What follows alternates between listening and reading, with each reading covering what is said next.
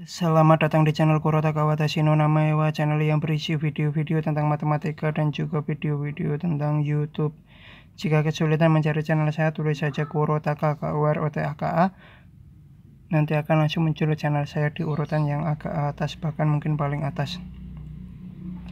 Di video saya yang ke 418 ini saya akan melanjutkan pembahasan soal ujian nasional tahun pelajaran 2013-2014 KTSP jurusan IPS Matematika. Di video saya sebelumnya sudah dibahas soal sampai dengan nomor 32 sudah dibahas sampai dengan nomor 32 jadi hari ini akan dibahas soal nomor 33 nah, jika kita perhatikan kirinya x kuadrat itu ada min. Nah ini artinya gambarnya nanti itu nilai maksimum ya jadi nilai puncaknya itu pasti paling tertinggi. Nah untuk yang seperti ini kita cek dulu. Dari 1 sampai 4 itu hasilnya ada yang e, plus minnya beda atau tidak gitu. Misalkan plus semua itu bagaimana kalau min semua bagaimana kita cek dulu gitu. 33 kita cek dulu satu dimasukkan ke sini. Berarti min x nya diganti satu berarti satu kuadrat tambah 4 kali x nya ganti satu plus 5 nanti hasilnya berapa? Sama dengan nah kalau ada seperti ini x nya kuadrat kan ini bukan min 1 kali min 1 tetapi min 1 kali 1 ya. Jadi ini hasilnya itu harus min 1 tambah 4 tambah 5 sama dengan 8 nah hasilnya ini plus. Kita coba dua. Ini kan 1 sampai 4 jadi kita coba dari angka 1 sampai 4 tinggal ganti. Satunya diganti dua ya. Kuadrat plus 4 kali 2 plus 5 nah, min 4 tambah 8 tambah 5 nah ini hasilnya? 9 nah plus lagi. Min 3 kuadrat tambah 4 kali 3 tambah 5 ini min 9 tambah 12 tambah 5 hasilnya 8 lagi. Ini plus mungkin maksimalnya itu ini 9 mungkin. Kemudian 4 yang terakhir itu 4 min 4 kuadrat tambah 4 kali 4 tambah 5 sama dengan nah, x nya itu pokoknya x nya diganti mulai dari 1 2 3 4 ya.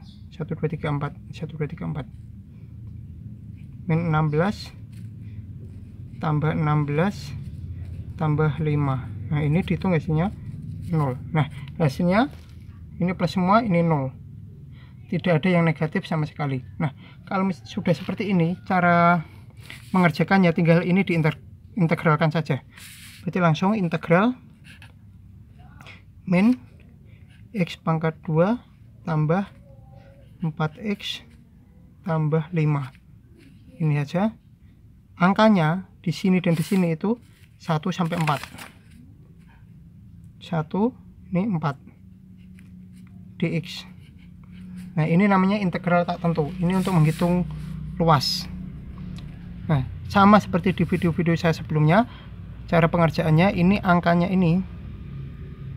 Karena tidak ada ini artinya satu. Jadi ini min satu per pangkatnya itu 2 tambah satu berarti 3 x pangkat 3 nah ini 4 koefisiennya kan kirinya x itu 4 tulis 4 per. Nah, karena pangkatnya ini tidak ada itu artinya satu. Tambah satu berarti 2 x pangkat 2 ditambah 5 karena tidak ada x nya berarti langsung tambah x. Berarti 5x seperti itu. Kemudian batasnya ini 4 1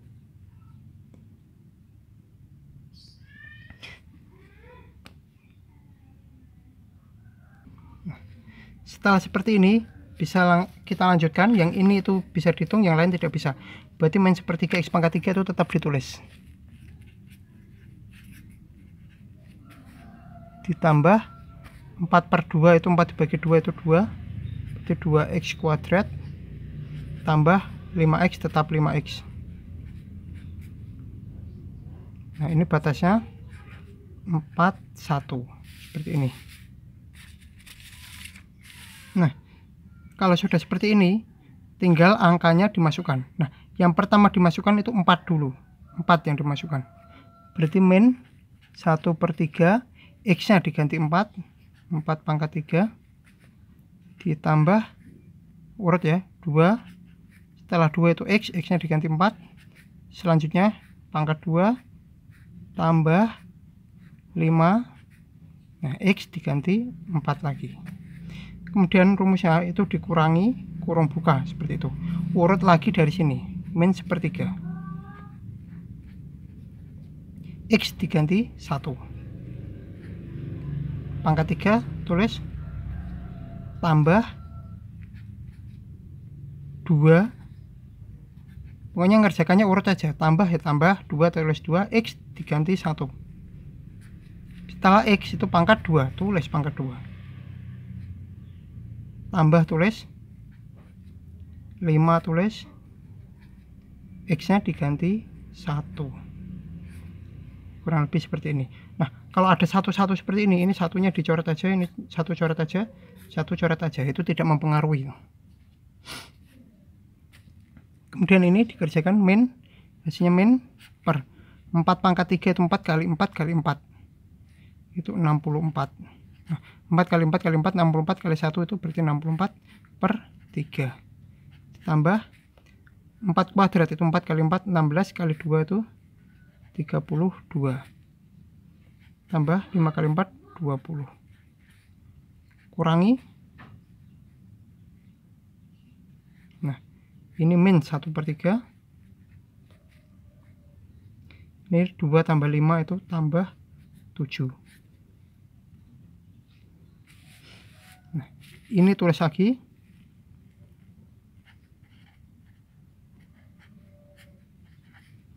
enam puluh empat per tiga tambah ini dihitung nah ini kurungnya dibuka dengan cara seperti ini. Min kali min itu jadinya plus. Min kali plus itu jadinya min. Selanjutnya tinggal dihitung. 52 kurangi 7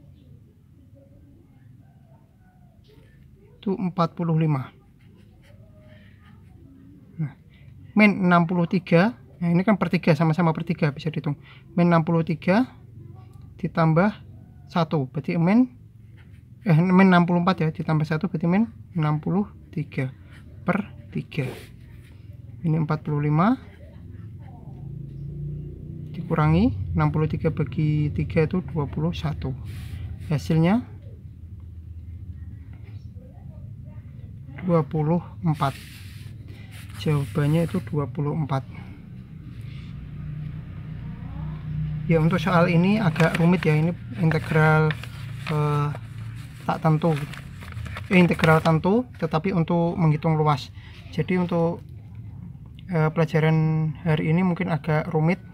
Jadi kalau misalkan masih belum paham dengan pembelajaran yang tadi videonya bisa diulangi lagi gitu nonton videonya lagi diperhatikan lagi itu diulangi. Karena ini memang terus terang memang agak rumit. Demikian video saya kali ini. Semoga pembelajaran hari ini bermanfaat. Uh, yang belum paham dengan materi, materi kali ini bisa diulangi lagi seperti yang saya bilang tadi. Kemudian untuk soal berikutnya nomor 34 eh, dan seterusnya akan dibahas di video saya berikutnya Eh, sampai di sini video saya kali ini. Semoga bermanfaat dan terus dukung channel saya supaya bisa monetisasi lagi. Jangan lupa like subscribe share bunyikan lonceng berikan komentar positif sesuai isi video saya. Tonton juga video-video saya yang lain. Jangan komentar spam jangan komentar copy paste jangan komentar dengan link jangan komentar minta subscribe jangan komentar minta dikunjungi jangan komentar minta-minta yang lain Yang paling penting jangan melanggar peraturan YouTube dan jangan mengajak melakukan pelanggaran YouTube. Terima kasih sudah menonton video saya ini sampai selesai.